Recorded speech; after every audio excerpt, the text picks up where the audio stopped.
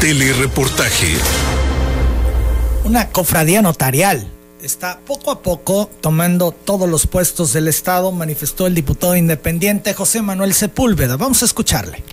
Le está abriendo la puerta y se le está dando la oportunidad a muchos notarios que posiblemente estén distrayéndose de su actividad principal, ¿no? Pero sí veo, ¿no? Que los puestos claves pues están recayendo en los notarios del Estado, ¿no? Bueno, es una cofradía notarial la que está poco a poco tomando todos los puestos del Estado, ¿no? Eh, espero que con el arribo de todos los notarios al Estado de Tabasco no se arrecie la cuestión de recaudación de impuestos, ¿no? Porque la mentalidad no notarial, pues así es, ¿no? Es cobrar. ¿Cómo ves? ¿Cofradía notarial? Eh, yo no lo veo así, Emanuel. Eh, es muy natural que el gobernador del estado, quien por cierto es notario, tiene una relación estrecha con precisamente con el notariado del estado de Tabasco, es en donde se encuentran la mayor parte de sus amigos y de sus conocidos y el, y el gobernador tiene que gobernar con personas con las que le tenga confianza. Pero no es cierto de que sean todos. Eh, cuenta cuántos son. no pasan Enrique de Priego en el Tribunal Superior de Justicia, Jaime Lastra en la Fiscalía del Estado, Guillermo Narváez que estaba en la Secretaría de Educación. Bueno, pero Guillermo Narváez ya no está en el gobierno del Estado. y ahora Narciso Oropesa. Son tres.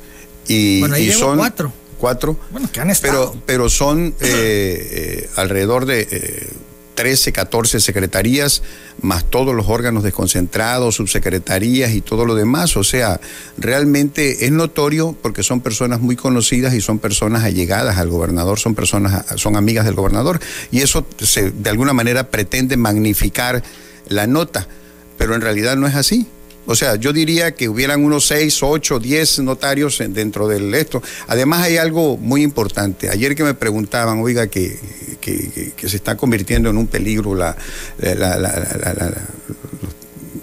¿cómo se llama? La designación de tanto notario, esto, yo no veo la actitud, la, la, actividad notarial como un, como un peligro, como un riesgo, como algo. La actividad notarial es una actividad este, que requiere además de ciertas características este, de probidad de la persona. Entonces, vuelvo a repetirte, no, yo no lo percibo así. Se pretende eh, magnificar por el hecho de que el gobernador es notario también. 9 de la mañana, 20 minutos, va bien Tabasco. César, aquí la dirigencia del PRI decía que ante los resultados que ha dado esta administración, no tienen duda en que las elecciones del 2021 tendrán otro resultado al que se vivió en 2018? Mira, los resultados diferentes del 2018 al 2021 son fundamentalmente eh, por dos razones que yo veo.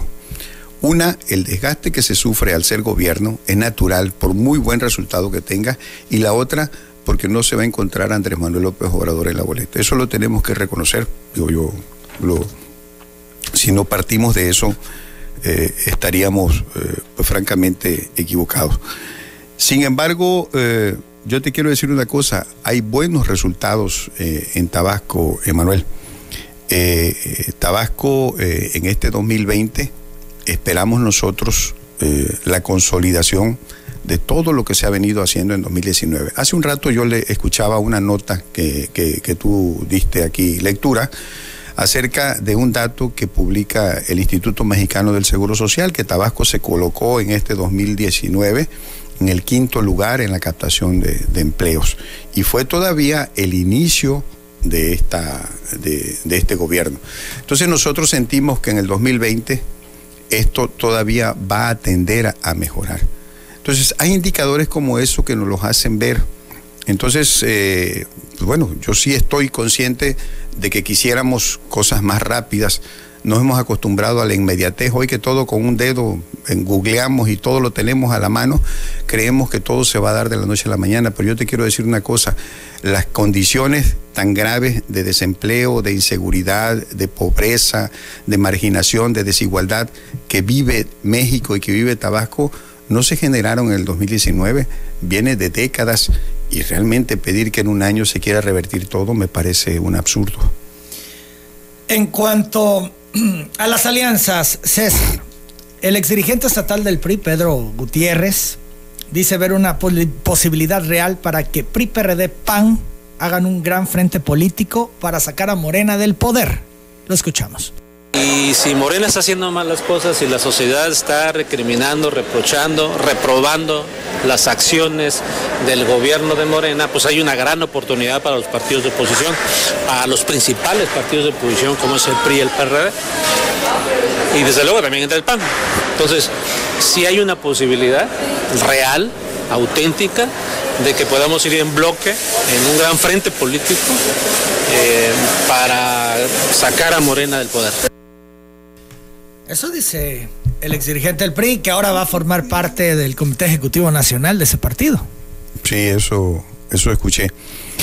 Mira, eh, Emanuel, este, en cualquier gobierno siempre hay insatisfacciones, siempre hay esto.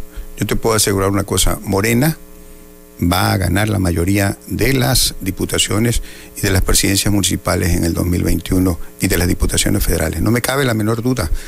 Eh, si bien es cierto. No todo, por este, ejemplo, las eh, diputaciones federales fueron todas. en cuanto a las diputaciones locales también. Te voy a. ¿Ya no? Mm, no lo, no lo creo. No, yo siendo realista, eh, no creo que, que, todo. Ojalá aspiramos a eso y vamos a trabajar para eso. Pero te voy a dar un dato, Emanuel. cuando Andrés Manuel López Obrador estaba en el PRD, a mí me tocó ser candidato. Bueno, yo tuve la condición, la característica de que todas las veces que yo he sido candidato, por alguna razón, en el PRD o en Morena, no me ha tocado justo con Andrés Manuel. En ninguna ocasión. Y en la legislatura 61, donde yo fui este, diputado federal, justamente eh, también ahí fue eh, diputado el hoy gobernador Adán Augusto, éramos 62 en la legislatura anterior, en la 60, en donde estuvo Andrés Manuel, eran 130 y tantos. Y en la, legislatura 62, en donde fue Andrés Manuel, fueron como 140. Lo que te habla del arrastre, del gran arrastre que tiene Andrés Manuel. Entonces yo hace un rato te mencionaba, tenemos que reconocer eso, de que efectivamente Andrés Manuel es un fenómeno, un fenómeno político, un fenómeno electoral, que pues no lo vamos a tener en el 2021. Y, pues, y eso nos va a dificultar un poco más las cosas. Pero sí hay las condiciones el trabajo, el resultado del gobierno federal, del gobierno del Estado, como para que nosotros podamos repetir eh, mayoría en el Congreso Federal, en el Congreso del Estado y en las presidencias municipales. La dirigencia del PT señala que la instrucción nacional es que vayan solos en el proceso electoral del 2021. ¿Han sido sus aliados? ¿Les preocupa que no vaya el PT con ustedes? No sé si exista PT todavía en Tabasco. Yo solamente escucho, yo solamente escucho a Martín Palacio por ahí de repente, pero en serio su ¿Borrados? borrados totalmente. ¿Ni les da ni les quita? No. Y tengo, además, te lo puedo decir, eh, eh, evidencias, eh, Emanuel, casi todo el comité ejecutivo estatal de, el PT tiene intenciones de sumarse a Morena. Precisamente ayer tuve una reunión con ellos. ¿Y entonces Martín Palacios, qué, disidente? Pues él solo. Pues no, no, no, no creo ni siquiera que esté representando la postura del PT nacional. Son las 9 de la mañana, 26 minutos. Que no nos quiera cargar un muertito que no nos corresponde. Revira Martín Palacios precisamente a los señalamientos de César Burelo, de que el diputado local Charlie Valentino fue postulado por ese instituto político. Él nunca ha estado en el padrón del PT ni es petista. Él es un diputado que llega a través de entre PT y Morena, pero no es petista. Entraron por la coalición PT-Morena, que quede claro. En ningún momento fue propuesto por nosotros. Nosotros no tuvimos opción alguna para presentar un candidato, que fue la discusión que tuvimos. No tenemos nosotros ningún candidato petista. Sería una forma de deslindarse el propio Morena de su propio candidato, ¿no? Porque ha sido muy polémico. Bueno, de su diputado ellos sí tendrán que tomar decisiones. ¿Qué van a hacer con él? Pero que no nos quieran cargar un muertito que no nos corresponde. Que no nos carguen un muertito que no nos corresponde, dice Martín Palacios. Mira, eh, me hicieron una entrevista antier precisamente, y eh, eran varios reporteros y reporteras, y dentro de las preguntas que me hacían estaba una que tenía que ver con el que dos diputados de la fracción parlamentaria de, eh, de Morena no aparecieron en el padrón electoral. Uno es el diputado Tomás Brito y el otro, porque no está afiliado, y el otro el diputado Charlie Valentino. Esto eh, fundamentalmente se debe, en el caso de Charlie Valentino, a inconsistencias del padrón. Y ahí mismo hablaban, o sea, de que eh, alguno, de que Charlie Valentino mm, podría ser eh, este, militante del PT. Yo de manera, o sea, quiero rectificar, de manera equivocada, planteé de que Charlie Valentino había ido en la, en la elección como una propuesta del PT. No es cierto o sea, eh, fue la diputada Maite eh, Zapata la diputada Maite Zapata, la que fue por Cárdenas como propuesta del PT. Charlie Valentino, incluso, y lo quiero decir aquí, Charlie Valentino eh, debe de ser militante del partido, debe de estar. Lo que pasa es que el padrón es inconsistente, no lo hemos podido revisar, ni siquiera lo tenemos nosotros. Y además, quiero decirlo, Charlie Valentino fue fundador de Morena. Es decir, nosotros no estamos de ninguna manera deslindándonos de él, fue una declaración eh, quizás eh, desacertada de mi parte y la reconozco. Bien, en cuanto a Charlie Valentino, ¿te preocupa sus formas y sus maneras? No, no, no me preocupa, quizás no las comparto.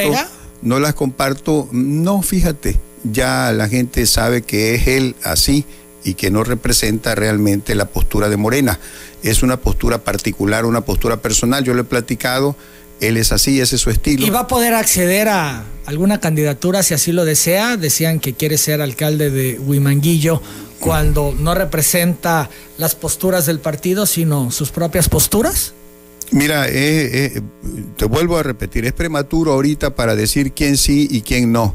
Eh, se tiene que ver cuál es el posicionamiento político que tenga cada una y cada uno de los aspirantes y también el desempeño que hayan tenido en el cargo que tuvieron pero no podría decirte en este momento, no, Charlie no puede acceder a nada, porque eso pues, sería un absurdo y una descalificarlo a nuestro compañero, pero tampoco encartarlo y decirlo, no, si él, si aspira a ser candidato, lo va a tener. Son las 9 de la mañana, 29 minutos. Finalmente, César, y creo que es importante porque fue un tema que se ventiló mucho. Una denuncia por posible conflicto de interés en la asignación de un crédito del FED al empresario Santiago Burelo, tu hermano, presentó Dolores Gutiérrez en la Secretaría de la Función Pública. Advirtió que en la SEDEC estarían aprovechando la información para beneficiar con recursos públicos a familiares o personajes cercanos al gobierno estatal. El crédito de un millón quinientos mil pesos entregado a tu hermano. Qué bueno que, me das la oportunidad de eh, abordar ese tema, eh, Manuel.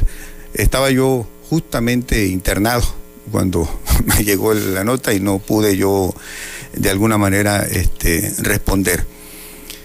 Hay algo que quiero marcar muy claramente. Los derechos de los ciudadanos son individuales. Mi hermano Santiago Burelo, Santiago es Burelo Burelo, es empresario hotelero, tiene 15 o 20 años, tiene su propio auto hotel, es de él, y, es socio de la Asociación Mexicana de Hoteles y Moteles de, Tabasco, o sea, de, la sede de Tabasco. Él, eh, yo, yo le pregunté, él gestionó el crédito en el año 2017 cuando llegó justamente Wilber Méndez Magañas a la Secretaría de, eh, de Economía en el gobierno anterior. En el 2018 le resolvieron el crédito. Y en octubre, por los meses de octubre, me buscó y me dice, oye hermano, fíjate que ya me resolvieron el crédito que me van a dar del FIDET, pero en la Secretaría de Finanzas me piden 250 mil pesos para que me puedan dar el crédito. Y, ¿y qué puedo hacer? Yo no tengo relaciones con este gobierno, eh, ni siquiera para buscar al secretario y decirle, era entonces el que se dice finado y a ver, ¿cómo este, que se dice afinado? ¿Tú no crees que se murió? Bueno, pues que. O sea, dudas que Ahmed Yo dudo que esté muerto, sí. ¿Sí, de plano? Sí, de plano, sí, de plano. ¿Por qué lo dudas? Porque, pues francamente, pues a ver, vamos a hacer esto, vamos a la pausa y ya nos cuentas bien, ¿no? Digo, ya con más tiempo. La pausa y regresamos. XHBT, desde Villahermosa, Tabasco.